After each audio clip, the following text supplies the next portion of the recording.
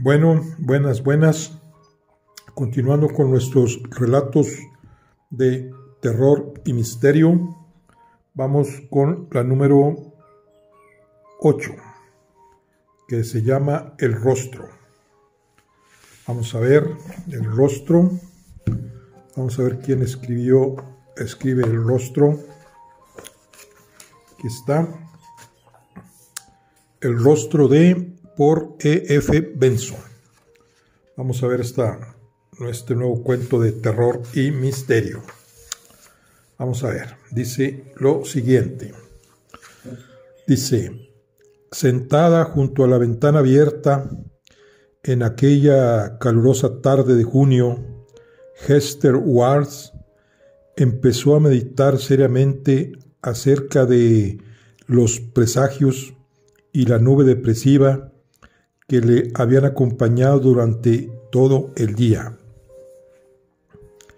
Y con gran sensatez enumeró para sí misma las múltiples causas de felicidad que había en las circunstancias afortunadas de su vida. Era joven, extremadamente atractiva, acomodada, gozaba de una salud excelente y por encima de todo tenía un esposo y dos hijos pequeños adorables. Ciertamente no existía ruptura alguna en el círculo de prosperidad que la rodeaba. Y si en esos momentos una hada madrina le hubiera entregado la gorra de los deseos, habría dudado si ponérsela sobre la cabeza, pues no podía pensar en nada que fuera digno de tal solemnidad. Tampoco podía acusarse además de no apreciar esas bendiciones, las apreciaba y disfrutaba enormemente, y deseaba de corazón que todos aquellos que con tanta munificencia habían contribuido a su felicidad pudieran compartirla hizo una revisión muy deliberada de todas esas cosas, pues se, se, encontraba realmente ansiosa, en realidad más de lo que se atrevía a admitir, por encontrar algo tangible que pudiera justificar la sensación siniestra de que se acercaba el desastre.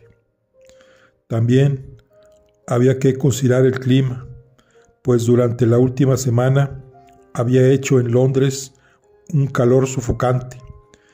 Pero si era esa la causa, ¿por qué no lo había sentido antes? Quizá el efecto de aquellos días sofocantes y sin aire hubiera sido acumulativo. Era una idea, aunque sinceramente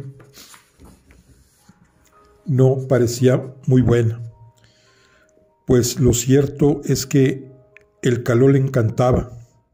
Dick, que lo odiaba, solía decir que era extraño que se hubiera enamorado él de una salamandra. Cambió de postura y se irgió en el asiento bajo que ocupaba junto a la ventana, tratando de recuperar su valor. Desde el momento mismo en que despertó esta mañana, supo que soportaba ese gran peso y ahora, tras haber hecho todo lo posible para encontrar cualquier motivo de su depresión y haber fracasado totalmente, se disponía a mirar las cosas cara a cara. Se avergonzaba de ello, pues la causa de ese estado de ánimo amedrentado que la atenazaba era tan trivial tan fantástica, tan excesivamente estúpida. Sí, nunca me sucedió nada tan tonto, pensó.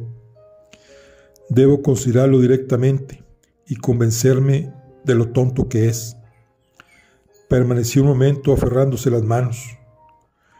La noche anterior había tenido un sueño que años atrás había sido habitual, pues de niña lo había soñado una y otra vez.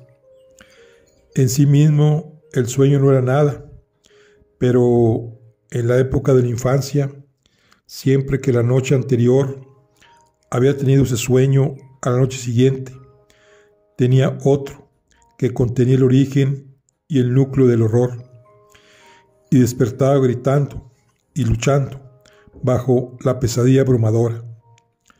Hacía ya unos 10 años que no lo había experimentado, y por lo que podía recordar, habría dicho que se hubiera vuelto oscuro y distante. Pero la noche anterior había tenido el sueño de advertencia que solía anunciar la visita de la pesadilla y ahora todo el almacén de la memoria, aunque estuviera lleno de cosas brillantes y hermosas, no contenía nada tan vivo como el sueño. El sueño de advertencia, el telón que se alzaba por la noche siguiente, revelando la tan temida visión, era en sí mismo simple e inocuo. Le parecía estar caminando por un acantilado alto y arenoso, cubierto de hierba baja, a que caía a su izquierda, a 20 metros, estaba el borde del abismo, que caía entonces en una empinada cuesta hasta el mar, situado al pie. El camino que ella seguía la conducía a través de campos rodeados de setos bajos y resultaba suavemente ascendente. Cruzaba una media docena de esos campos, subiendo las escaleras que por encima de las cercas comunicaban uno con otro. Pastaban ahí ovejas, pero nunca vio un ser humano. Y siempre era el crepúsculo, como si estuviera cayendo la noche. Y tenía que darse prisa, porque alguien, ella no sabía quién, le estaba esperando. Y no solo le aguardaba desde hacía unos minutos, sino desde hacía muchos años. En el momento en que subía la cuesta, veía delante de ella un grupo de árboles bajos que crecían curvados por la continua presión del viento que soplaba desde el mar. Y cuando los veía, sabía que su, que su viaje casi había terminado y que el innombrable que tanto tiempo llevaba guardando, estaba en algún lugar cercano. El camino que seguía se interrumpía en ese bosquecillo y las inclinadas copas de los árboles por el lado del mar casi le servían de techo. Era como caminar a través de un túnel. Enseguida los árboles de la parte delantera empezaban a disminuir y a través de ellos veía la torre gris de una iglesia solitaria. Se levantaba en un camposanto que parecía llevar mucho tiempo abandonado y el cuerpo de la iglesia, situado entre la torre y el borde del acantilado, estaba en ruinas, sin techo y con las ventanas abiertas rodeadas de espesos crecimientos de hiedra. El sueño preliminar es, se detenía siempre en ese punto. Era un sueño que provocaba preocupación e inquietud, pues se hallaba suspendido sobre él la sensación del crepúsculo y la del hombre que la llevaba aguardando tanto tiempo pero no podía considerarse como una pesadilla. Lo había experimentado muchas veces en su infancia y quizás era el conocimiento subconsciente de la noche que con seguridad iba a producirse lo que le daba esa inquietud. Y ahora la última noche se había vuelto a producir, idéntica en todos los aspectos, salvo en uno, pues la noche anterior le pareció que en los diez años que había pasado desde la última vez que lo tuvo, se alteró la visión de la iglesia y el cementerio. El borde del acantilado se había aproximado más a la torre. Se encontraba ahora a uno o dos metros de ella, y las ruinas de la iglesia, salvo un arco roto que había sobrevivido, había desaparecido. En su avance, el mar llevaba diez años tragándose el acantilado. Hester sabía bien que solo ese sueño le había oscurecido el día por las pesadillas que solía sucederle, y siendo una mujer sensata, tras haberlo reconocido, se negó a admitir en su mente nada que pudiera evocar conscientemente las consecuencias. Si se hubiera permitido contemplar tal cosa, probablemente el hecho mismo de pensar en ello bastaría para asegurar su regreso, y una de las cosas que con seguridad sabía era que no quería en absoluto que tal cosa sucediera. No era una de esas pesadillas ordinarias, confusas y revueltas. Era muy simple y sentía que concernía al ser innombrable que la guardaba. Pero no debía pensar en ello. Puso toda su voluntad e intención en el deseo de pensar en ello, de no pensar en ello, y como ayuda a su resolución, escuchó el sonido de la llave de Dick en la puerta principal y su voz que la llamaba. Salió al pequeño y cuadrado recibidor principal y lo encontró ahí, fuerte y grande y maravillosamente real. Este calor es un escándalo, un ultraje, una abominable desolación, gritó él, enjuagándose el sudor vigorosamente. ¿Qué hemos hecho para que la providencia nos coloque en esta sartén? Luchemos contra el calor, Hester, salgamos de este infierno y vayamos a cenar, te lo diré susurrando para que la providencia no se entere. Hampton Courts. Ella se echó a reír. Aquel plan resultaba muy conveniente. Regresaron tarde, tras haberse distraído, y cenar fuera resultaba al mismo tiempo delicioso y un motivo de olvido. Estoy de acuerdo y segura de que la providencia no nos ha oído. Vayámonos ahora. Perfecto. He recibido alguna carta. Se dirigió a la mesa sobre la que había algunos sobres con sellos de medio peñique y de aspecto muy poco interesante. Ah, recibos de facturas, dijo. Solo un recordatorio de lo tonto que es uno por pagarlas. Una circular, un consejo que no he pedido acerca de invertir en marcos alemanes, un suplicatorio en, un, en una circular que empieza. Querido señor o señora, es una impertinencia pedirle a uno que se suscriba a algo sin saber de antemano si es hombre o mujer una visión privada de retratos de la Walton Gallery. No podré ir. Reuniones de negocios el día entero. Quizá a ti te gustaría ir a verlos, Hester. Me han dicho que hay unos Van Dix muy hermosos. Eso es todo. Salgamos. Hester pasó una velada realmente tranquila y aunque pensó en hablarle a Dick acerca del sueño que tanto había afectado todo el día su conciencia, para oír la gran carcajada que soltaría él por su estupidez, no lo hizo, pues nada de lo que pudiera decir él sería tan bueno para su miedo como la fuerza general que transmitía. Además, tendría que explicar el motivo de su efecto perturbador, decirle que en otro tiempo solía tener ese sueño y contarle la secuela de las pesadillas.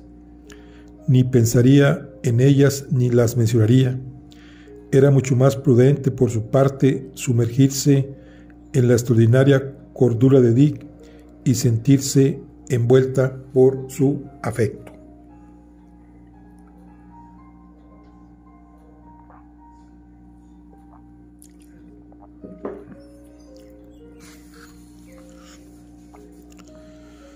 Cenaron al aire libre en un restaurante situado a orillas del río y después dieron un paseo. Era ya casi medianoche cuando, calmada por el frescor y el aire y por el, vigor de su fuerte compañero, se dejó conducir de regreso a la casa mientras él llevaba el coche al garaje. Entonces se maravilló del estado de ánimo que la había acosado todo el día y que tan distante el real se había vuelto. Se sentía como si hubiera soñado con un naufragio y al despertar se encontraba en un jardín seguro y abrigado, que la tempestad no podía atacar ni las olas batir. Pero ¿acaso no estaba ahí, aunque remoto y oscuro, el ruido de las olas distantes? Dick dormía en el vestidor que comunicaba con el dormitorio de ella, cuya puerta dejaban abierta para que entrara el aire y el frescor, y ella cayó dormida así nada más apagar la luz. Cuando la del vestidor seguía todavía encendida, Hester empezó a soñar inmediatamente. Se hallaba de pie en la orilla del mar. Había marea baja, pues las franjas de arena recubiertos de objetos abandonados y varados brillaban en un crepúsculo que iba profundizándose hasta convertirse en noche. Aunque nunca había visto aquel lugar, resultaba terriblemente familiar. En la cabeza de la playa había una empinada montaña de arena y sobre el borde de esta una torre de iglesia de color gris. El mar debía haber invadido y socavado el edificio de la iglesia, pues abajo del montículo había bloques de construcción desperdigados, lo mismo que algunas lápidas, mientras otras tumbas seguían en su sitio, marcando su silueta blanquecina sobre el telón de fondo del cielo. A la derecha de la torre de la iglesia se encontraba un bosquecillo de árboles achaparrados que el viento marino predominante había curvado hacia un lado, y ella sabía que en la parte superior del montículo, varios metros hacia adentro, se encontraba un camino que cruzaba los campos, con escaleras de madera para pasar por encima de las cercas de uno a otro, y que atravesando un túnel formado por árboles iban a dar al cementerio. Todo aquello lo vio de una sola mirada y aguardó, contemplando el montículo de arena coronado por la torre de la iglesia, el terror que iba a revelarse. Sabía ya lo que iba a suceder e intentó escapar, como lo había hecho muchas veces, pero le había afectado ya la catalepsia de la pesadilla. Trató de moverse frenéticamente, pero ni siquiera esforzándose al máximo era capaz de levantar un solo pie de la arena. Frenéticamente intentó apartar la mirada del montículo de arena que tenía delante, en donde en un momento se manifestaría el horror. Y se manifestó. Se formó ahí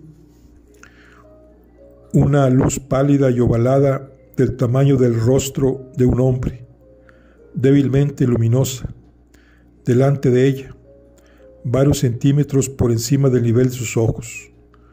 Fue cobrando precisión. En una zona baja de la frente creció un cabello corto y rojizo. Debajo la contemplaban con fijeza dos ojos grises muy juntos. A cada lado aparecieron las orejas, notablemente alejadas de la cabeza, y las líneas de las mandíbulas se encontraban en una barbilla corta y puntiaguda. La nariz era recta y bastante larga. Debajo había un labio y finalmente cobró forma y color la boca, y en ella yacía el máximo terror. Uno de sus lados, suavemente curvo y hermoso, temblaba, convirtiéndose en una sonrisa, mientras que el otro lado, grueso, y como si estuviera tirante por causa de una deformidad física, sonreía con un sarcasmo y lujuria. El rostro entero, desdibujado al principio, fue tomando gradualmente un perfil claro. Era pálido y bastante delgado, el rostro de un hombre joven. En ese momento el labio inferior descendió un poco, mostrando el destello de los dientes, y surgió el sonido del lenguaje. Pronto vendré por ti, dijo. Y al hablar se acercó un poco más a ella y ensanchó su sonrisa. En ese momento se derramó sobre ella toda la calurosa oleada de la pesadilla. Intentó de nuevo correr, trató otra vez de gritar, ahora que podía sentir el aliento de esa boca terrible sobre la suya. Entonces, con un estruendo y un desgarro, como si se hubiera separado el cuerpo y el alma, ella rompió el encantamiento, escuchó el grito de su propia voz y sintió sus dedos buscando el conmutador de la luz. Vio entonces que la habitación no estaba a oscuras, pues la puerta de Dick se encontraba abierta, y un instante después, vestido todavía, él se encontraba a su lado. ¿Qué sucede, querida? ¿Qué pasa? Ella se aferró a él con desesperación, enloquecida por el terror. Ah, él ha estado aquí otra vez, gritó. Dice que pronto vendrá por mí. No le dejes que se acerque, Dick. Fue, por un momento, se le contagió el miedo de ella y miró a su alrededor. Pero, ¿qué dices? Aquí no ha estado nadie. Ella levantó la cabeza, que tenía apoyada en el hombro de Dick. No, fue solo un sueño, dijo Hester. Fue el viejo sueño y sentí terror. Pero todavía no te has desvestido. ¿Qué hora es? No llevas ni diez minutos en la cama, querida, dijo Dick. Apenas habías apagado la luz cuando te oí gritar. Hester se estremeció. Ay, es horrible. Y él vendrá otra vez. Habíamos... Háblame de ellos, contestó él sentándose a su lado. No, contestó ella afirmando la negativa con un gesto de la cabeza. No servirá de nada hablar de ello, solo lo hará más real. Los niños están bien, ¿no? Por supuesto que sí. Al subir las escaleras lo comprobé. Eso me tranquiliza. Ahora estoy mejor, Dick.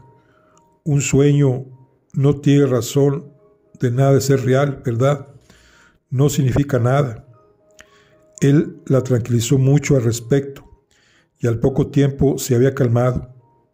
Dick volvió a mirarla antes de irse a la cama y vio que estaba dormida. A la mañana siguiente, Dick se marchó a la oficina y Hester tuvo una dura conversación consigo misma. Se dijo que lo único que tenía miedo era de su propio temor. Se dijo que cuántas veces había acudido a sus sueños ese rostro, portador de malos presagios, y qué significado había tenido luego, absolutamente ninguno, salvo el de asustarla. Sentía miedo y no había nada que temer estaba defendida, protegida, era próspera. ¿Qué importaba que regresara una pesadilla de la infancia? Ahora no tenía más significado del que había tenido entonces, y todas aquellas visitas de su infancia habían pasado sin consecuencias. Pero luego, a pesar de sí misma, volvió a pensar en esa visión. Era absolutamente idéntica a todas las anteriores, excepto... Y en ese momento, encogiéndose repentinamente el corazón, recordó que de niña aquellos terribles labios habían dicho, vendré por ti cuando seas mayor, y que la frase de la noche anterior había sido, vendré por ti ahora. Recordó también que en el sueño de advertencia el mar había avanzado y había demolido ya el edificio de la iglesia. Había una terrible coherencia en esos dos cambios dentro de unas visiones que en todos los demás aspectos eran idénticas. Los años habían producido sus cambios, pues en una caso el mar, al crecer, había derribado la iglesia, y en el otro el tiempo estaba ya cercano. De nada servía responderse o regañarse, pues la única consecuencia de dejar que entrara en su mente la contemplación de la visión era que se cerraba otra vez sobre ella el dominio del terror. Era más prudente buscar una ocupación y hacer que el miedo muriera tratando de no sostenerlo con el pensamiento. Por tanto, decidió realizar sus deberes domésticos. Sacó a los niños para que tomar el aire en el parque y después, decidida a no permitirse ningún momento libre, salió con la invitación para ver los cuadros en una visita privada a la Walton Gallery. Después, su día seguiría estando ocupado. Saldría a almorzar fuera, acudiría a una sesión de teatro y cuando regresara a casa Dick ya estaría ahí y podrían irse a la casita que tienen en Ray para pasarse el fin de semana. Dedicarían el sábado y el domingo a jugar el golf y ella sentiría que el aire fresco y la fatiga física acabarían con el terror de esas fantasías de los sueños. La galería estaba llena de gente cuando llegó ahí. Encontró algunos amigos, por lo que la contemplación de los cuadros se acompañó de una alegre conversación. Había dos o tres buenos Raw Bulls, un par de Sir Joshua, pero para ella las joyas eran tres. Van Dix, que estaban colgados en una pequeña sala. Entró en ella, mirando el catálogo el primero de ellos era un retrato de Sir Roger Winburns. Estaba todavía hablando con su amigo cuando levantó la mirada y lo vio. Su corazón latió tan rápido que se le subió a la garganta y luego pareció quedarse totalmente quieto. La invadió una especie de enfermedad mental del alma, pues ahí, ante ella, se encontraba el que pronto iba a ir a tomarla. Ahí estaba el cabello rojizo, las orejas proyectadas hacia fuera, los ojos codiciosos y juntos, y la boca que por un lado sonreía y por el otro formaba la amenaza burlona que también conocida, conocía ella. Podía haber sido una pesadilla, en lugar de un modelo vivo, quien se hubiera sentado ante el pintor. ¡Qué retrato! ¡Y qué hombre tan brutal! exclamó su compañera. Fíjate, Hester, ¿no te parece maravilloso?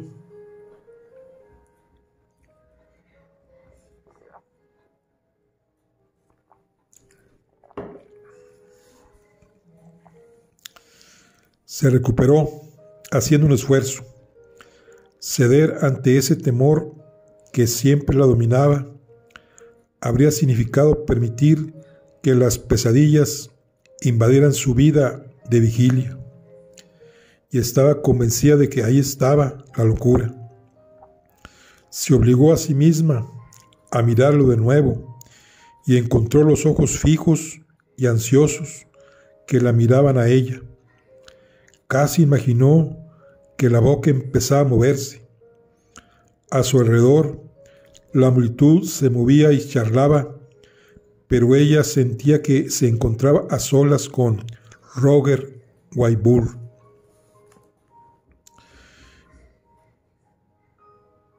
Y sin embargo, razonó consigo misma ese retrato de él, pues era él y no otro tendría que haber servido para tranquilizarla. Si a Roger Winbull lo habían pintado Van Dix, debe llevar muerto casi 200 años. ¿Cómo iba a ser una amenaza para ella? ¿Acaso había visto por casualidad ese retrato de niña y le había causado alguna impresión terrible? Pues aunque borrado por otros recuerdos, siguió vivo en el subconsciente misterioso que fluye eternamente, como un río oscuro y subterráneo bajo la superficie de la vida humana. Los psicólogos enseñan que esas primeras impresiones ulceran o envenenan la mente, como un absceso oculto.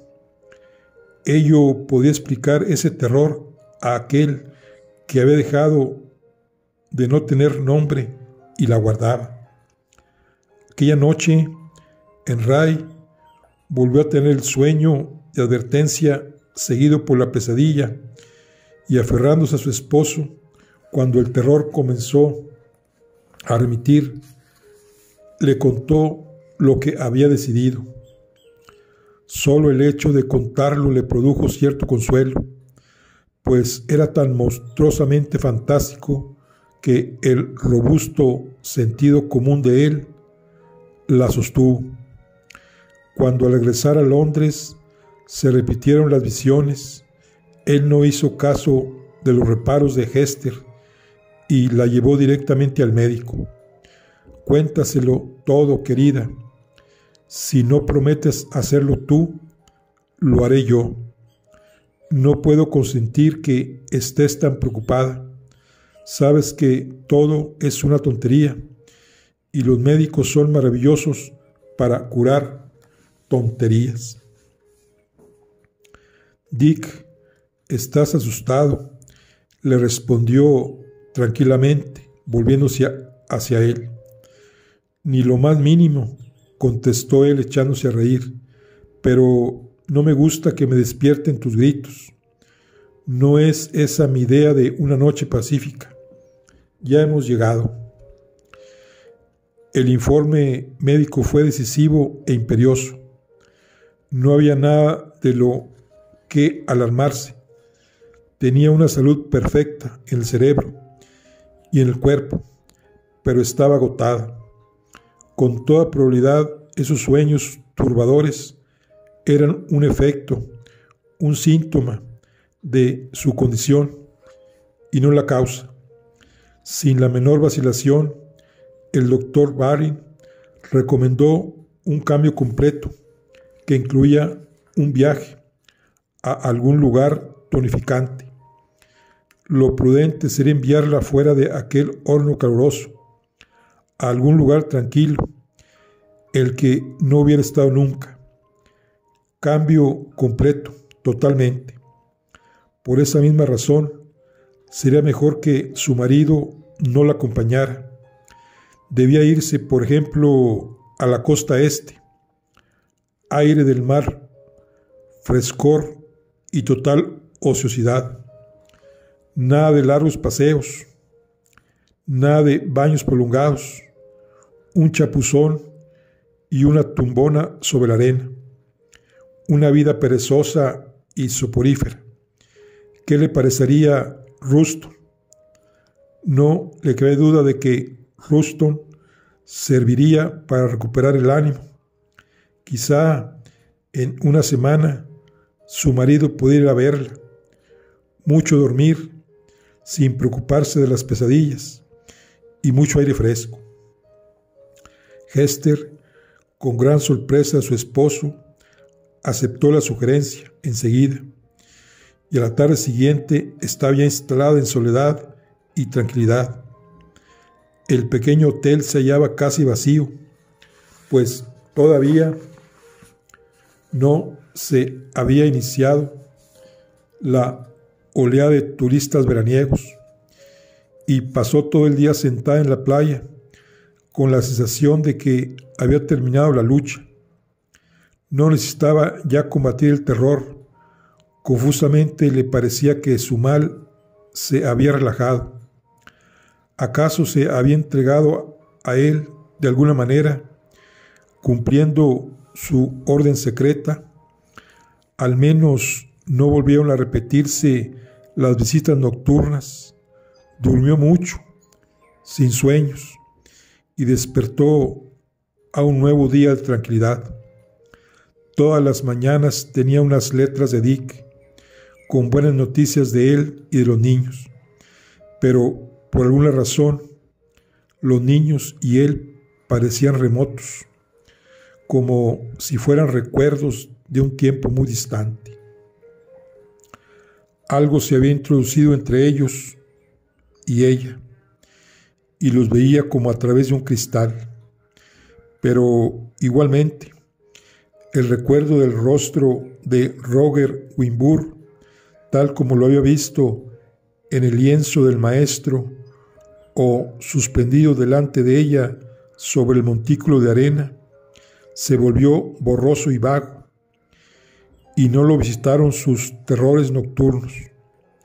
Esa tregua de las emociones no sólo actuó sobre su mente, calmándola y llenándola de una sensación de tranquilidad, seguridad, sino también sobre el cuerpo, por lo que empezó a fatigarse de esa inactividad diaria.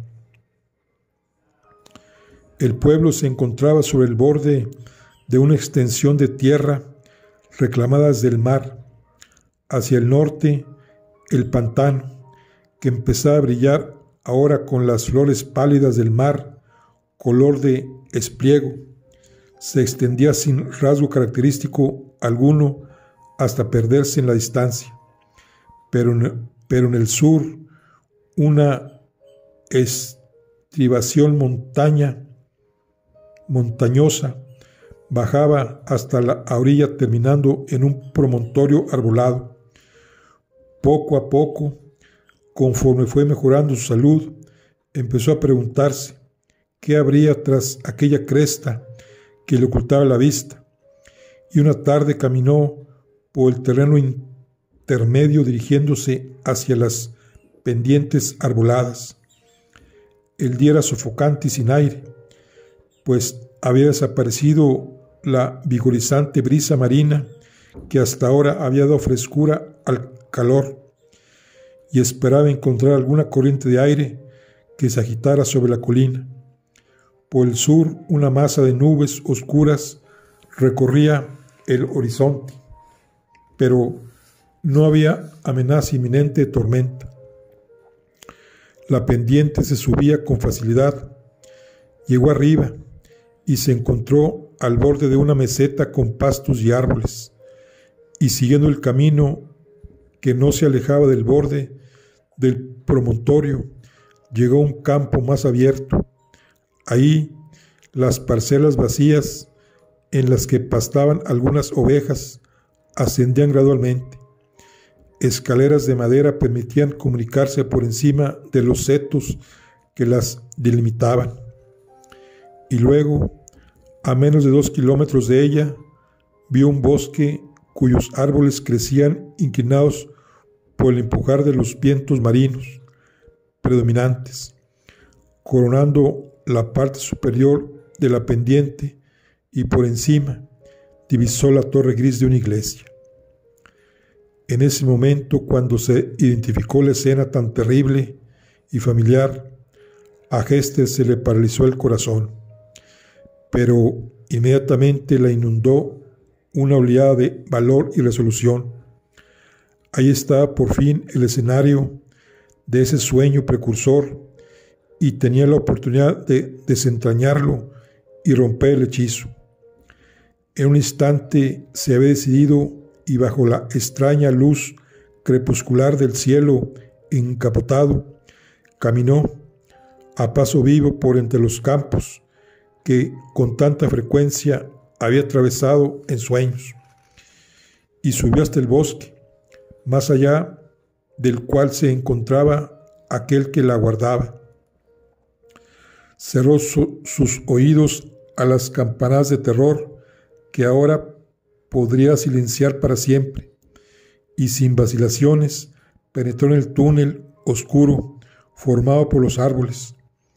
Enseguida estos comenzaron a ser menos numerosos, y a través de ellos, ahora ya más cerca, vio la torre de la iglesia. Unos metros más allá, salió del cinturón de árboles y se vio rodeada por los monumentos de un cementerio que hacía tiempo había sido abandonado. El promontorio se interrumpía cerca de la torre de iglesia.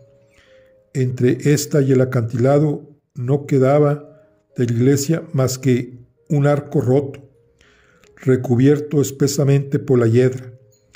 Pasó a su lado y vio abajo las ruinas y los bloques de construcción caídos y la arena recubierta de lápidas y cascotes, y en el borde del acantilado había tumbas agrietadas y caídas, pero ahí no había nadie.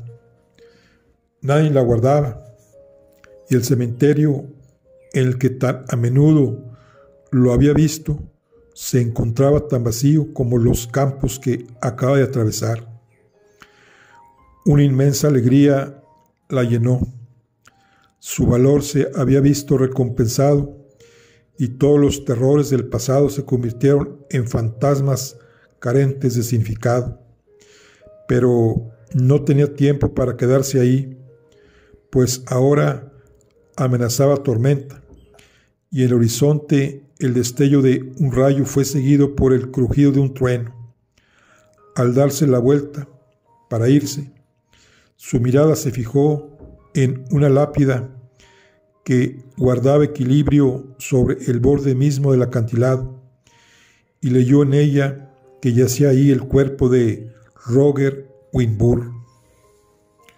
El miedo, la catalepsia de la pesadilla, la enraizó de momento en aquel lugar, sobrecogida y asombrada, contempló las letras recubiertas de musgo estaba casi esperando que ese rostro aterrador se alzara y quedara suspendido sobre su lugar de descanso. Después, el miedo que la había dejado congelada le dio alas y con pies veloces corrió por entre los arcos que formaban los árboles del bosque y salió a los campos. No lanzó ninguna mirada hacia atrás hasta que llegó al borde de la cresta, sobre el pueblo, y dándose la vuelta vio que los pastos que había atravesado estaban vacíos y no había en ellos ninguna presencia viva. Nadie la había seguido, pero las ovejas, miedosas de la tormenta inminente, habían dejado de comer y se apresuraban bajo el abrigo de los setos bajos.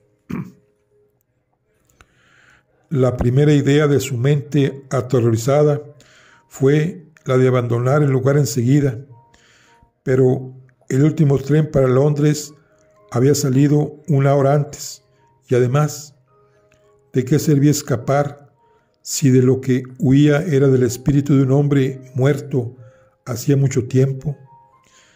La distancia con respecto al lugar en el que yacían sus huesos no le darían seguridad.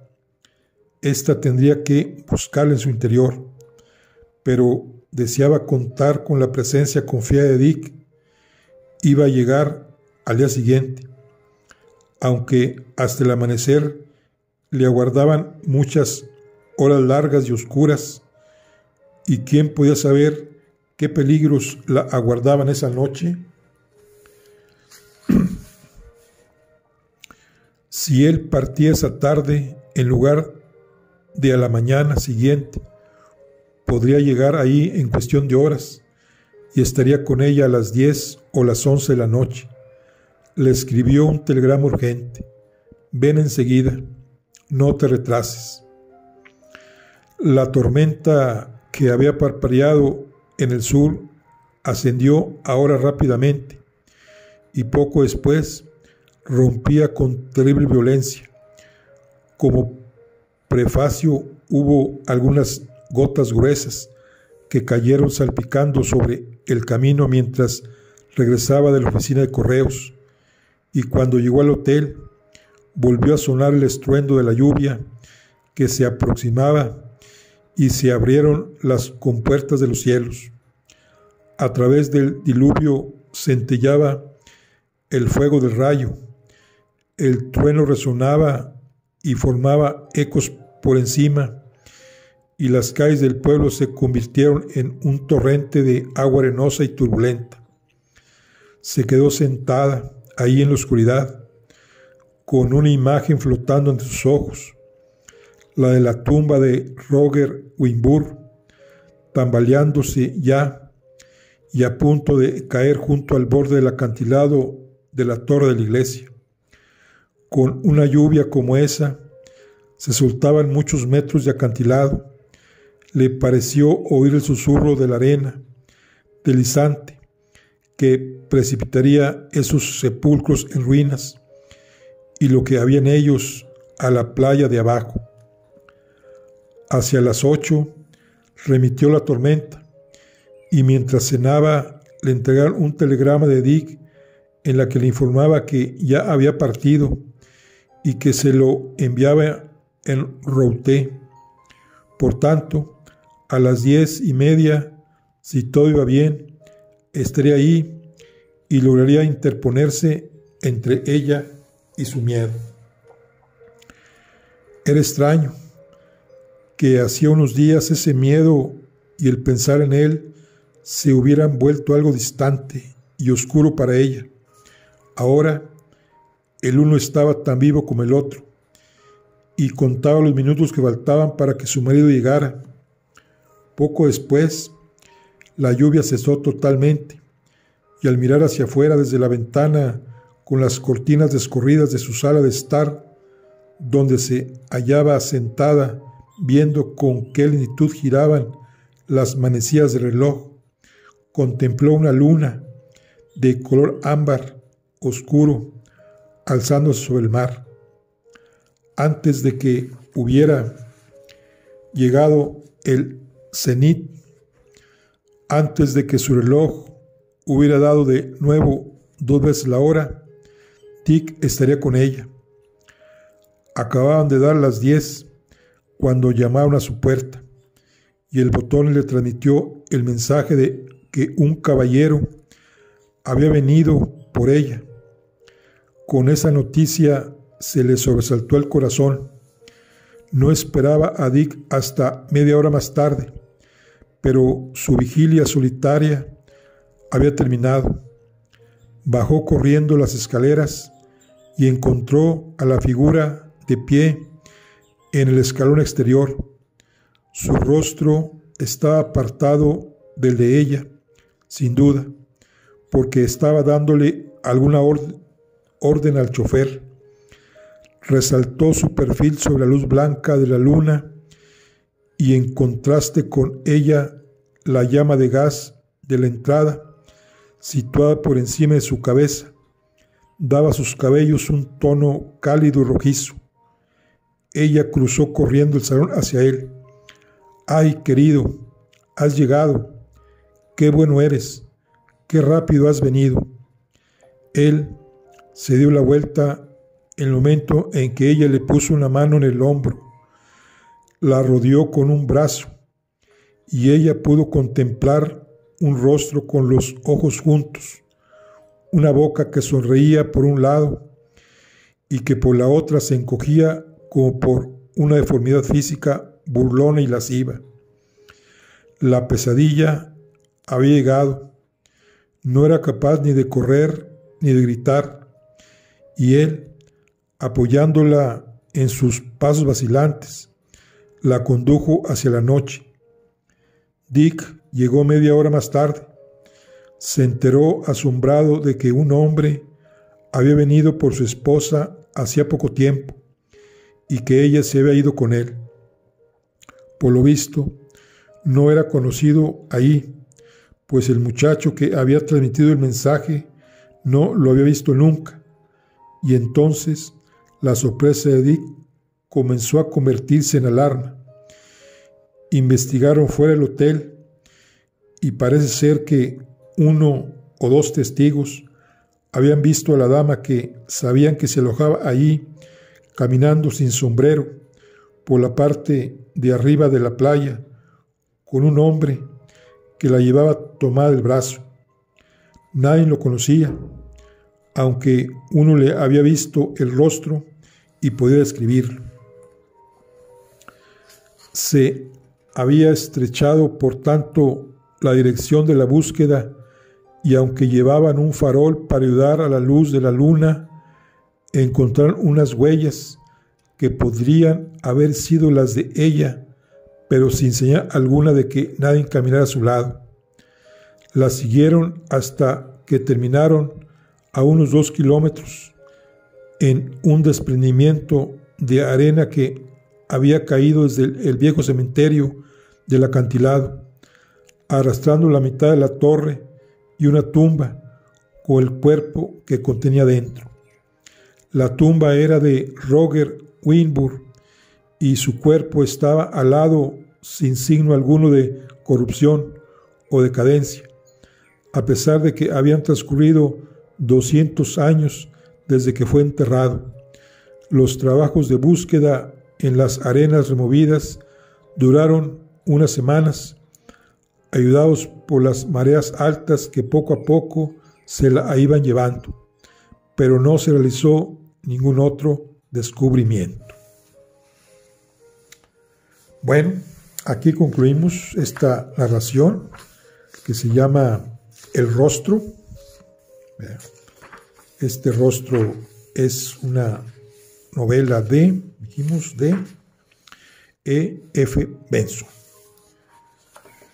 Estamos con nuestro libro de Relatos de Terror y Misterio. Nos vemos en la siguiente. Hasta luego.